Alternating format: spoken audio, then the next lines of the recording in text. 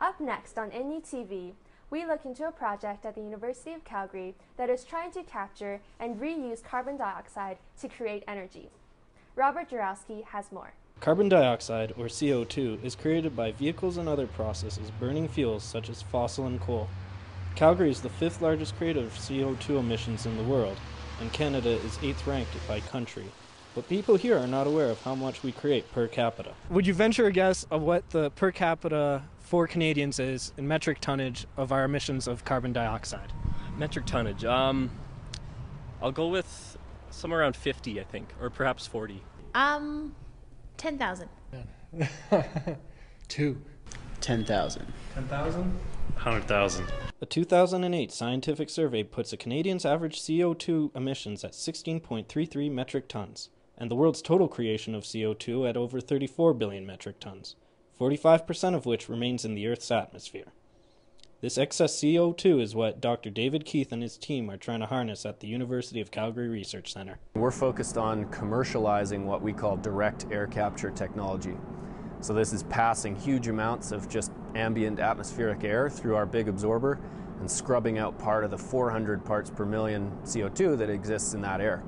Uh, so a couple big challenges. Uh, primarily, nobody's ever done this before. Um, not, not at least in the way that we're trying to do it.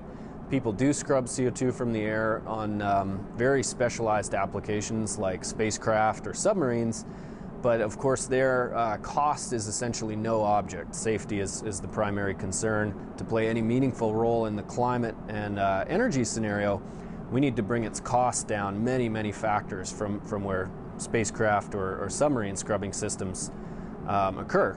And that's why, with our company here, we've, we've focused on adapting big industrial technologies that are already proven at industrial scale, have good economics of scale, and uh, we think that's the shortest route to, to marketing our technology.